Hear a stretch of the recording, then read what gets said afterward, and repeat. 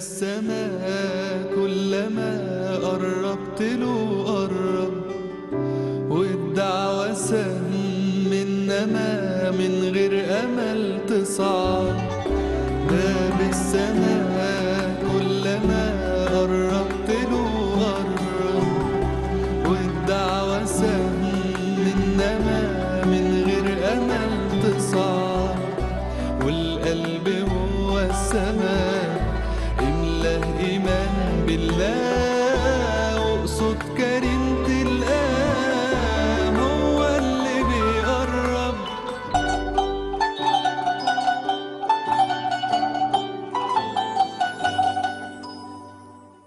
سلام الله عليكم ورحمته وبركاته. مرحبا بكم أخوة الإيمان والإسلام في لقاء جديد من برنامجكم لعلهم يفقهون على قناتكم DMC أسأل الله عز وجل أن تكونوا على خير وعلى نعمة وعلى طاعة وأن يكشف الله عنا وعن بلادنا الداء والوباء والبلاء والغلاء والغباء. إنه قريب مجيب الدعاء.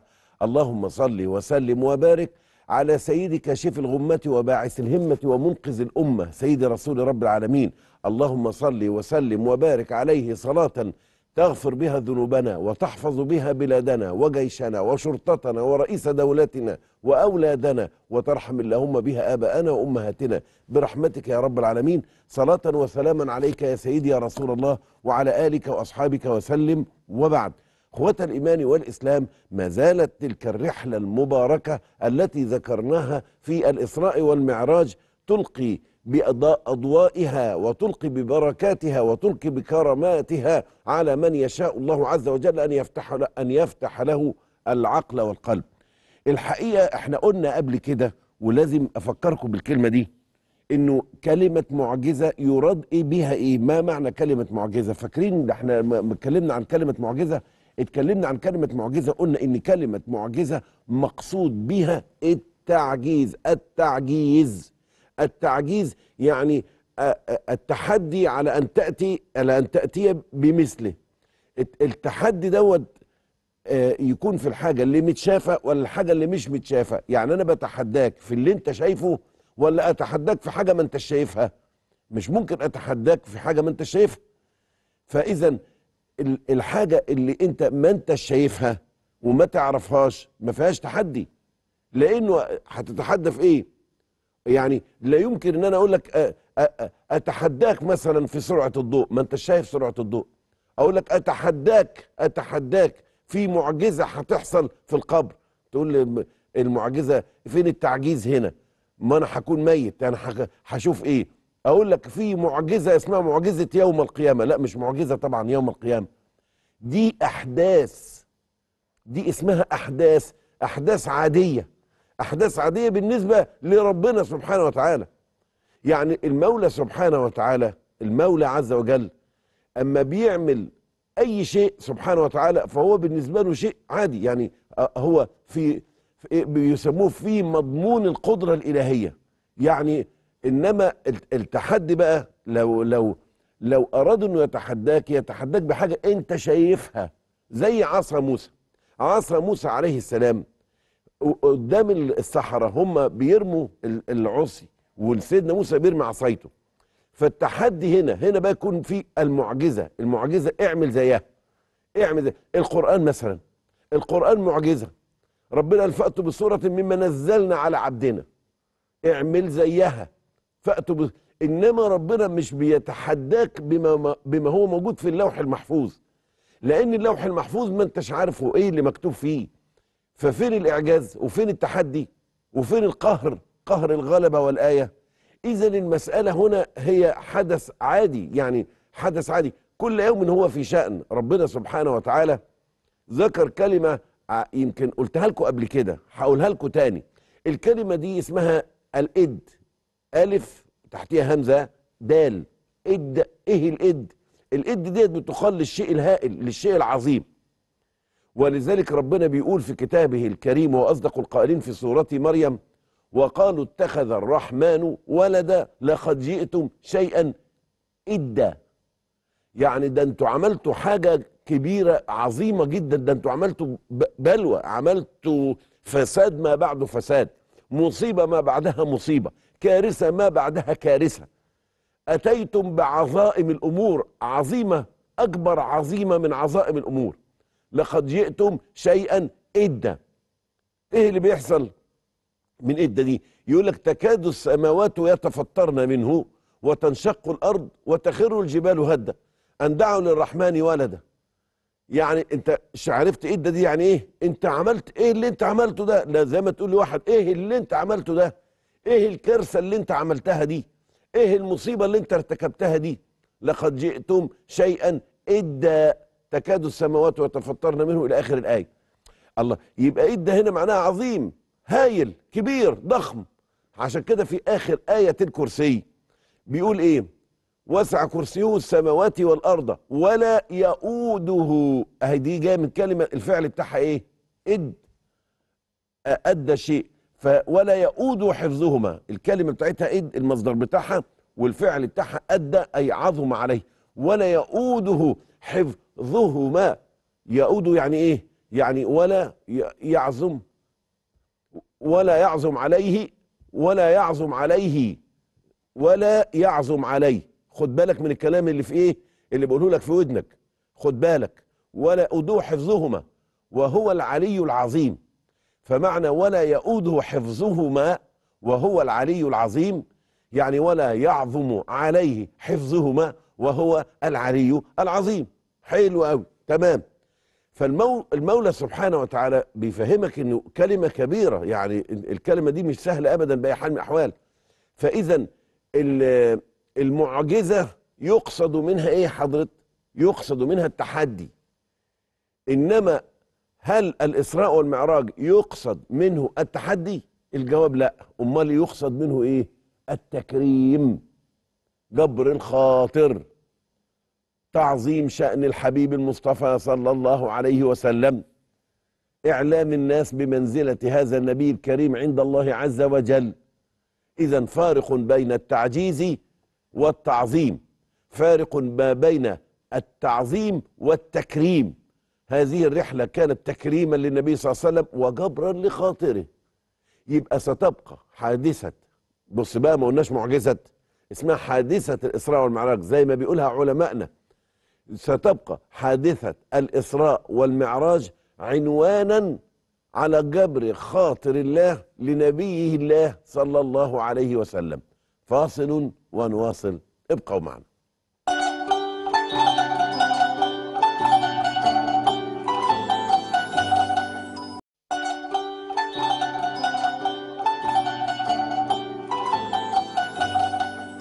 يعجبني قوي خصوصية التكريم اللي ربنا سبحانه وتعالى بيقولها لحبيبنا صلى الله عليه وسلم. وبيقول له إيه سبحان الذي أسرى بعبده ليلا من المسجد الحرام إلى المسجد الأقصى الذي باركنا حوله لنريه.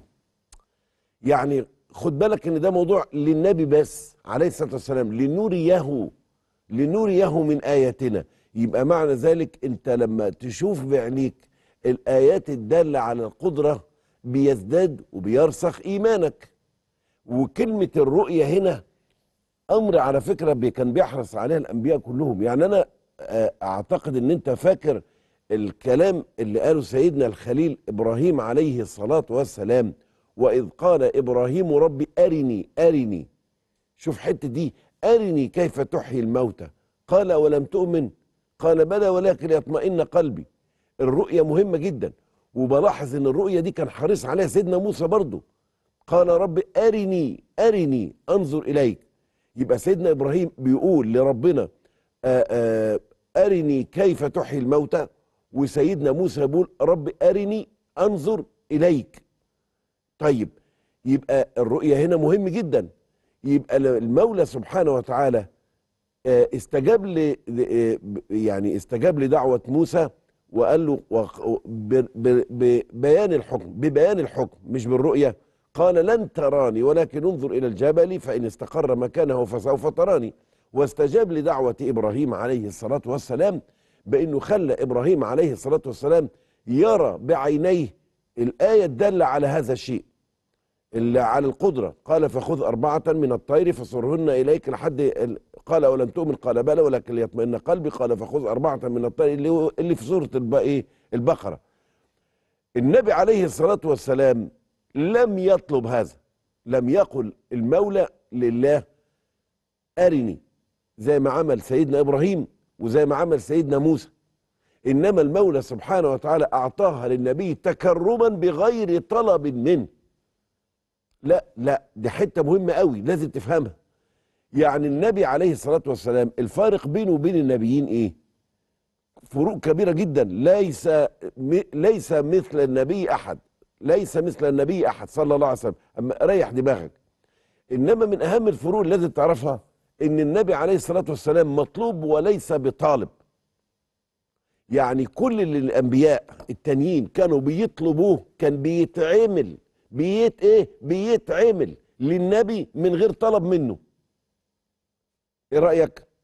وهديك أمثلة عشان حضرتك يطمئن قلبك لهذه القضية أو تلك الفلسفة العجيبة في آه، كرامات النبي صلى الله عليه وسلم وكرامة الحبيب عند الله. شوف فاكر أنت حضرتك موضوع تغيير القبلة؟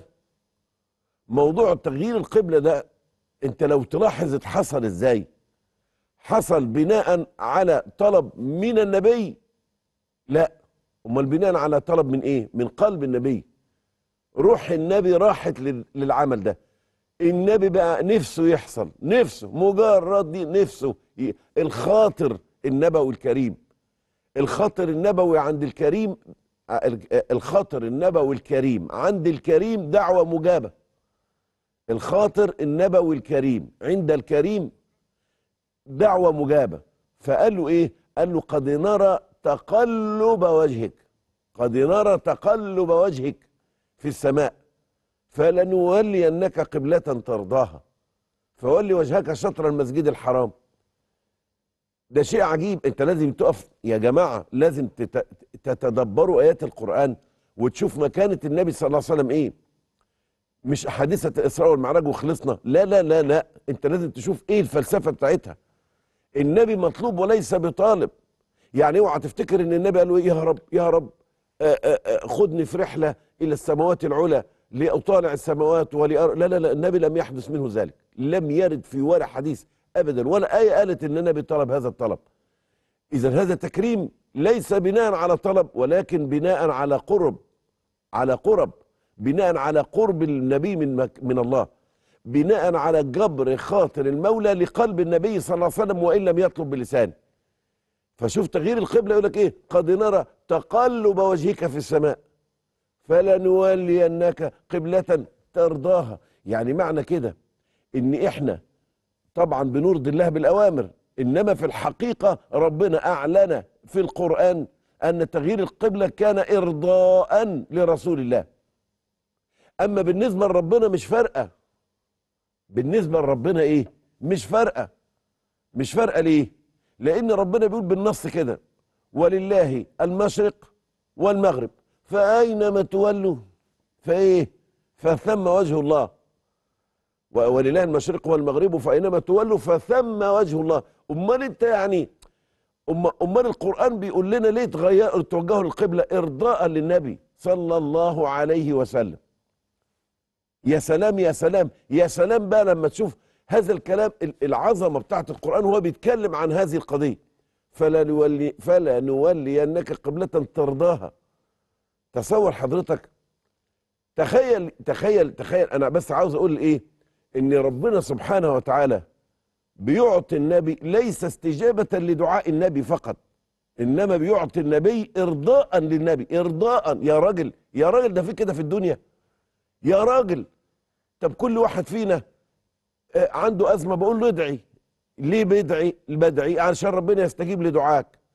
النبي عليه الصلاة والسلام لو ما دعاش مع إنه كان بيدعي صلى الله عليه وسلم إنما ال ال ال ربنا بيسخر القدر والقضاء والحياة ارضاء للنبي.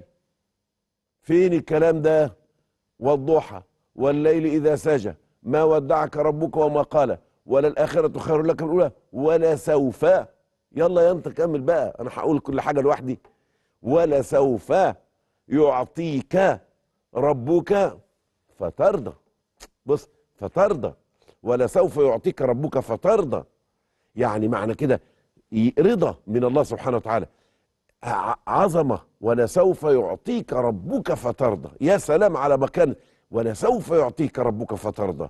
عظمة من الله سبحانه وتعالى. عطاء من الله سبحانه وتعالى. منحة من الله سبحانه وتعالى. كرم من الله سبحانه وتعالى. ارضاء لمين؟ ارضاء للنبي عليه الصلاة والسلام. فانا أشوف بكو- ال- اللي سيدنا إبراهيم وسيدنا موسى سيدنا موسى يقول له إيه؟ أرني ك... آه أنظر إليك. سيدنا إبراهيم يقول له أرني كيف تحيي الموتى؟ النبي من غير ما يطلب هذا الطلب قال اللي ربنا قال لنريه من آياتنا. إنه هو السميع البصير. إنه هو السميع البصير. إيه رأيك؟ مش حاجة تلفت النظر وتغيير القبلة؟ مش حاجة تلفت النظر؟ فلنولينك قبلة ترضاها؟ والعطاء علشان يرضى مش عشان دعا. ما ما يقولش ولا سوف يعطيك ربك استجابة لدعائك. لا قال له ولا سوف يعطيك ربك فترضى. إذا رضا النبي أمر مطلوب ولا مش مطلوب؟ ده مين. مين اللي بيقول لك إن رضا النبي أمر مطلوب؟ القرآن. ربنا بيتكلم عن النبي كده.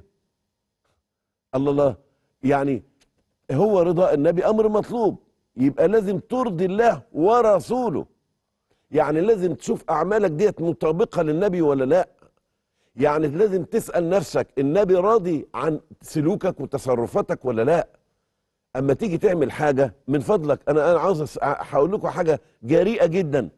أول مرة هتسمعوها على الإعلام على الهوا كده. من فضلكم استشيروا النبي قبل ما تعملوا أي حاجة. اللهم صل وسلم وبارك عليه. أظن كلام كده واضح. على بلاطة زي ما بيقولوا. أنا عاوزك تستشير النبي قبل ما تعمل أي حاجة. جاي تنتقم من واحد استشير النبي. أنت تخسر حاجة؟ طب واستشير النبي إزاي؟ بص في الأحاديث بص في السنة. إيه اللي النبي لما كان يغضب كان يعمل إيه؟ وزي ما بيعمل يعمل. ماشي يا سيدي؟ صلى الله عليه وسلم. قرايبك ما بيزوركش طب أعمل معاهم إيه؟ دور استشير النبي أزورهم ولا ما أزورهمش يا رسول الله؟ ها؟ مراتك زعلتك؟ ها؟ أضربها ولا أشتمها ولا أتخانق معاها ولا أطردها ولا أطلقها يا رسول الله؟ هيقول لك جوزك زعلك. استشيري رسول الله. أصبر عليه وأدعي له ولا أنصحه ولا أعمل إيه؟ استشيروا رسول الله. استش... يا أيها الذين آمنوا استجيبوا لله وللرسول إذا دعاكم لما يحييكم. يا جماعة الخير يحييكم. تخليش حد يعطلك عن النبي بتاعك. ما تخليش حد يعطلك عن حبيبك صلى الله عليه وسلم. إحنا قلنا إيه في بداية الحلقة ونكرر تاني؟ النبي النبي بتاعنا سيدنا النبي كان مطلوبا وليس بطالب. يعني النبي كان يطلب ولا يطلب. اللهم صل وسلم وبارك عليه.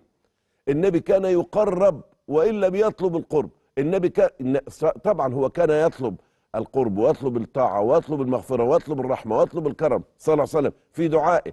لكن القرآن دايما بيقول إنه رضا ربنا على النبي بيسبق طلب النبي.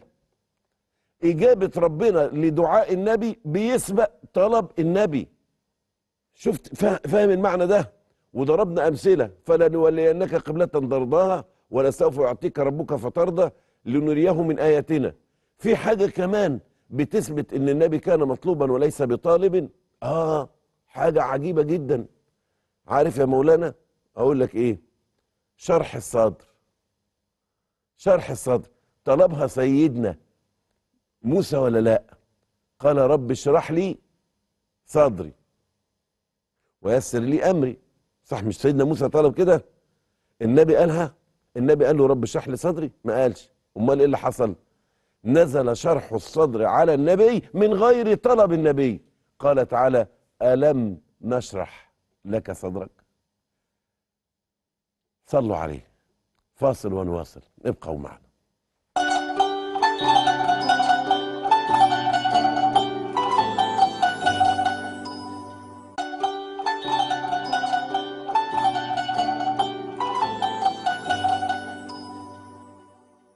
موضوع مهم جدا إنك تعرف مكانة الحبيب عليه الصلاة والسلام. لما أقول لك آه لازم تستشيره أنا على فكرة الكلام ده مش جايبه من عندي أنا مألفه وأنا قاعد على ال- الاستوديو. لا ده لفظ القرآن الكريم. اسمع اللفظ عشان تبقى فاهم الكلام. إيه إيه ال- الكلمة المشهورة دي جت إزاي؟ ربنا بيقول فبما رحمة من الله لنت لهم. ولو كنت فظا غليظ القلب لانفضوا من حولك. ولو كنت فظا غليظ القلب لانفضوا من حولك. طب أعمل إيه يا رب؟ ده ربنا بي ده النبي بيسأل. قال له فاعفو عنهم. يلا قولوا معايا ما أنتوا حافظين القرآن أحسن من أي حد. فاعفو عنهم. أدي واحد. واستغفر لهم. أيوه. وإيه؟ يلا. أكمل أنا ولا تكملوا أنتوا؟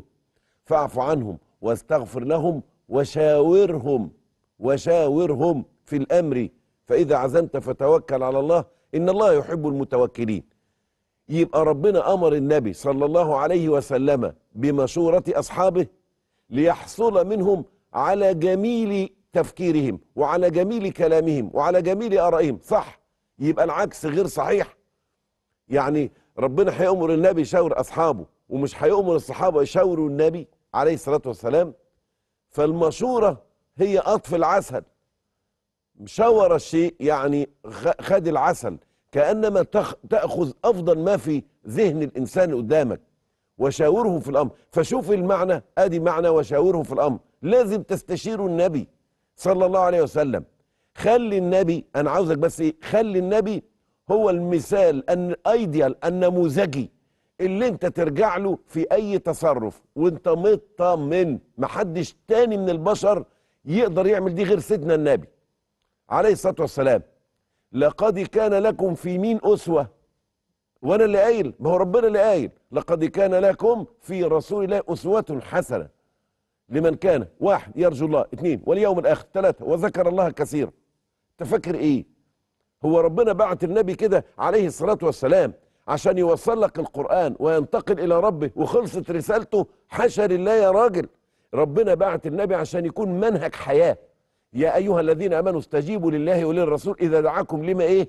يحييكم. أنا بقى عاوزك تشوف إيه اللي يحييك إيه اللي في حياتك. هتلاقي هو النبي. اللي في حياتك هو النبي. اللي في سكوتك هو النبي. اللي في كلامك هو النبي. اللي في علاقتك بالناس هو النبي. اللهم صل على النبي. قول يا راجل اللهم صل على النبي. عليه الصلاة والسلام. عرفت المعنى بتاع سيدنا النبي؟ علشان كده النبي كان يعجبه الرأي الحسن والفأل الحسن والشكل الحسن والبزازة. سمعتوا عن بزازة؟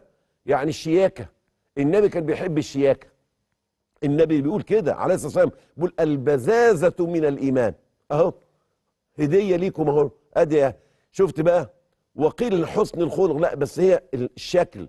بدليل الآية ربنا بيقول يا بني آدم استروا عورتكم عند كل مسجد. لا. طب نشوف تاني. يا بني آدم البسوا خيش. البسوا خيش وانتوا رايحين مسجد. لا والله ما قال كده. قال يا بني آدم البس أي حاجة وتعالى عند كل مسجد. لا والله. الله الله الله. يا عم الشيخ طب دقق وبص وراجع. ما تقروا القرآن صح. الله ما تقروا القرآن صح. أمال شكلنا عامل كده ليه؟ الناس بعضهم ما بيهتمش بشكله ولا بشياكته ولا بأناقته. أنا عاوزك بيه عارف يعني إيه؟ لازم تكون شكلك يقولوا عليك فلان بيه ليه؟ تقول يا أخي إن أكرمكم عند الله أتقاكم. يقول- أقول لك ده عند الله. إنما عند الناس لابد تحتفظ بشكلك وبشياكتك. يا بني آدم خذوا زينتكم عند كل مسجد. الزينة هي ما زاد على الأصل. وبنصح الشيوخ كده ما تخليش حد يرثى لك ما تخليش حد يبص لك نظرة عطف بحذر الشيوخ والدعاة. ما تخليش حد خلي الناس تنظر لك نظرة توقير واحترام مش نظرة عطف وشفقة. يطلع هدومه مكرمشة وضوافره طويلة وأسنانه مش ملعبكة ومعموش مش لا ما ينفعش الكلام ده. لازم تكون أشيك واحد وأنزه واحد. خذوا زينتكم عند كل مسجد. ما تعطيش الدنية من الأمر. علشان كده شوف كرامة النبي عليه الصلاة والسلام. يطلب ولا يطلب. ولسوف يعطيك ربك فترضى. فلنولينك قبلة ترضاها. لنريه من آياتنا. كل ده لسيدنا النبي. يا راجل ده سيدنا آدم يقول له قال رب قال ربنا ظلمنا أنفسنا وإن لم تغفر لنا وترحمنا. يبقى سيدنا آدم كان طالب إيه؟ المغفرة من الله. النبي من غير ما يطلب يعني قبل ما يطلب قبل ما يطلب عشان النبي كان بيطلب طبعا في الدعاء إنما قبل ما يطلب قال له ليغفر لك الله ما تقدم من ذنبك وما تأخر. سيدنا موسى يقول له رب اشرح لي صدري. النبي ربنا يقول له إيه؟ ألم نشرح لك صدرك؟ ووضعنا عنك وزرك. شفت إزاي؟ تصور حضرتك كل الأنبياء كانوا بيطلبوا رفعة الأجور. ربنا بيقول عسى أن يبعثك ربك مقاما محمودا. مقاما محمودا. مكانته كده فرحله الإسراء والمعراج. دي رحلة تكريمية خاصة. لمين؟ لسيدنا النبي. إنما اللي هيؤمن بها مين؟ أتباع النبي بس. من كرامة هذه الم- ال- الرحلة أو الحادثة الجميلة العظيمة أنها تقوم بفرز المجتمع. الناس المتشككة الناس المتذبذبة الناس المتفلسفة اللي ربنا ابتلانا بيهم اللي ماليين كل حتة اللي بيطلعوا من تحت ضوافرك دولت ربنا فرزهم فرز. اتعرف وما جعلنا القبلة التي كنت عليها إلا لنعلم من يتبع من يتبع الرسول ممن ينقلب على عقبيه. وإن كانت لكبيرة إلا على الذين هدى الله وما كان الله ليضيع إيمانكم إن الله بالناس لرؤوف رحيم. يا صلاة النبي يا أتباع النبي يا صلاة النبي يا أتباع النبي. النبي عليه الصلاة والسلام حيباهي بكم يوم القيامة. فيا أتباع النبي قولوا معايا يا صلاة النبي على أتباع النبي. اللهم صل وسلم وبارك على حبيبنا مجبور الخاطر سيدي رسول الله صلى الله عليه وسلم. اللهم احشرنا تحت لوائه يوم لا, يوم لا لواء إلا لوائه واسقنا من يده الشريفة شربة هنيئة مريئة لا نظمأ بعدها أبدا. وجازه خير ما جزيت نبيا عن أمته ورسولا عن قومه. ولا تحل بيننا وبينه يوم القيامة حتى توردنا مدخله. صلاة وسلام عليك يا سيدي يا رسول الله. والسلام عليكم ورحمة الله وبركاته.